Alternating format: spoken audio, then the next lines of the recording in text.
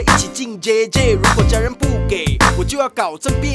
我绝食抗议自焚，结果还是我扁。阿婆说国立学校虽然不用钱，但是怕我一进去就会变成大便。那边的老师可以自修修到放学，那边的作业可以拖到年底才给。我到中华第一天，头发长一点就被列入坏同学的行列。我不安，因为这里不是我的地盘。我堵拦，因为这里的校服西北难看。红色校裤颜色就像过期牛油，七颗铜牛会破伤风。如果它生锈，女生小白裙根本在挑战卫生棉公司的防漏。风一吹，男同学都凉透。规定不可以染黄色头发，连有家族遗传的还要被逼染发。黑发就能代表是好学生，所以在欧洲满街通通都是坏人。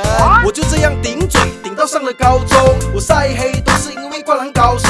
我苦练只因为女同学的加油我进球，以为女同学就会让我追求。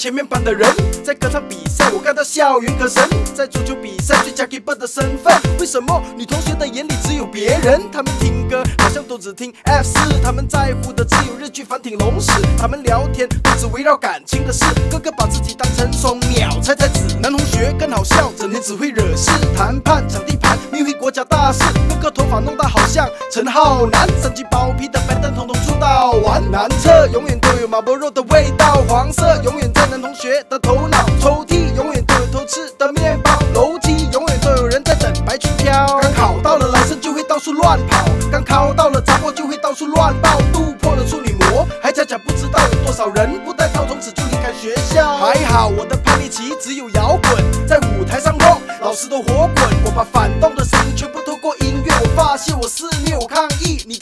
你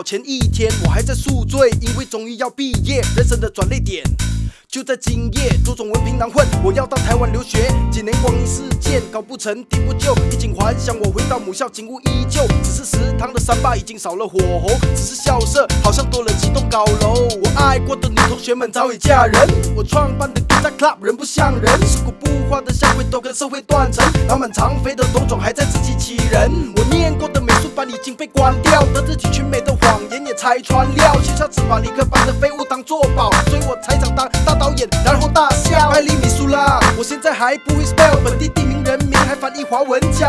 有一天我问路要去邦过岛，我问红土看你妈呢他说好高看你山呢。回忆母校的点点滴滴很窝心，虽然有些事情比较争议要改进，推陈出新，但在我心里，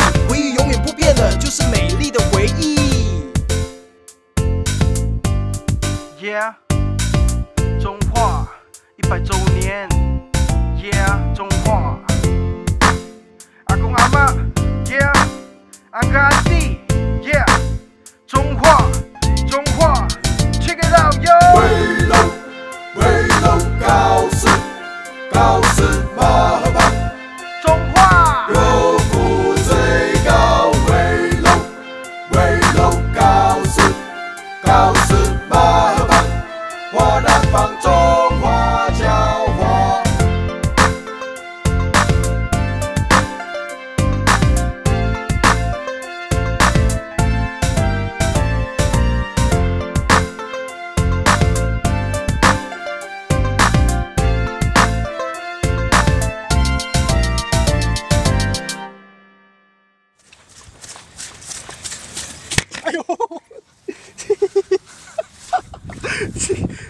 去比过笑哪位？